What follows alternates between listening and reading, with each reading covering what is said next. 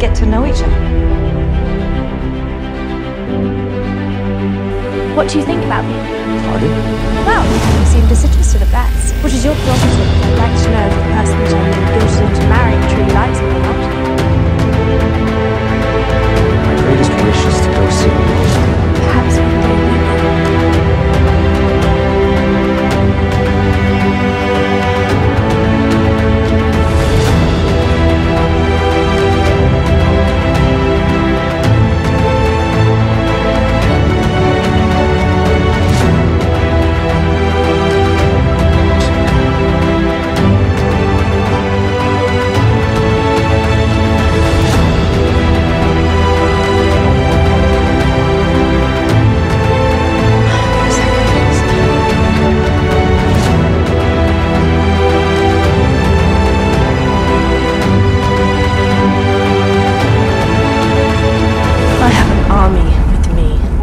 Show me your fire.